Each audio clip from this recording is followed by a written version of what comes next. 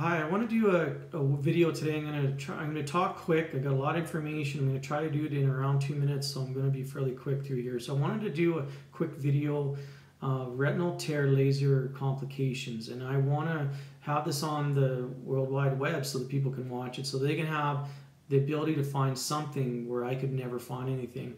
So basically, if you're in a in a doctor's office right now and you're just about to do a retinal tear laser procedure, I want you to pause. I want you to stop. I want you not to do it. I'm asking you just to take a quick pause. I'm not saying don't do it at all, but I'm saying take a quick pause. Go outside.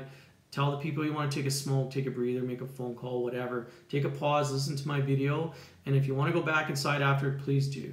Now my history quickly was I had my both of my eyes retinal tears of both my eyes. I had them both lasered. Three years ago, my right eye I had it lasered. I had absolutely no problems with it.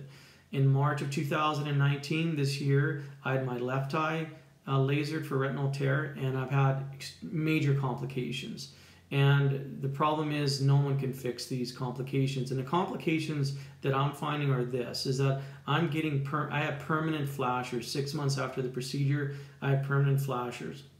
Whether they go away or not is really anybody's guess. And what are flashers? Flashers are basically imagining both your eyes are computer screens and whatever eye you had the retinal laser done on, you start seeing pixelization under certain certain conditions. Typically, from almost always from bright sunlight into darker rooms or under fluorescent lights, and they are debilitating. Um, I am telling you, they are extremely debilitating. They will cause you extreme stress and anxiety, and it will impact all aspects of your life. And that's why I want you to watch this video because you need to know what the risks are prior to getting this procedure done.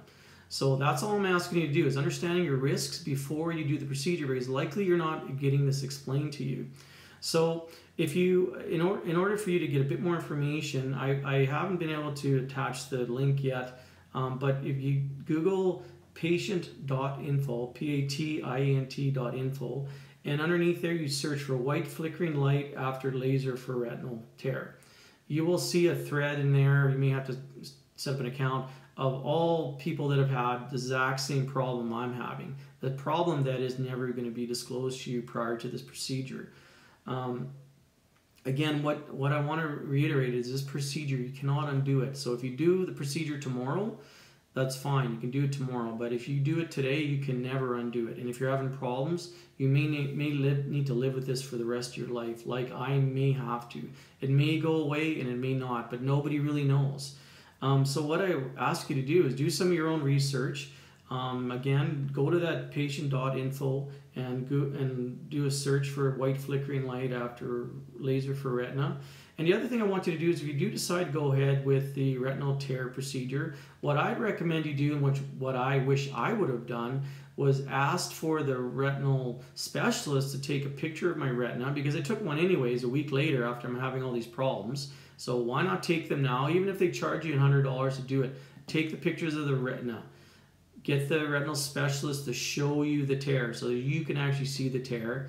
If there's one or two or more tears that are being proposed to being lasered, have, those, have that documented and then you all both have an understanding exactly what is going to be done. No different than if you're going to fix a car or if you had a broken bone, take it, look at the x-rays, look at the broken tear, and then agree to having having it done. Because you'll read on this website a lot of people that are getting the retinal specialist starts lasering other areas not just where the tear is even areas where he considers it thinning or whatever. In some cases um, retinal specialists are shooting a laser all the way around the retina to kind of glue the retina in place um, but there's significant problems that people are having with these kind of things so please just take your time before you go ahead and do this retinal tear. It's your body, it's your health. You have the right to take a pause, and you can always do this procedure later, today or tomorrow or next week.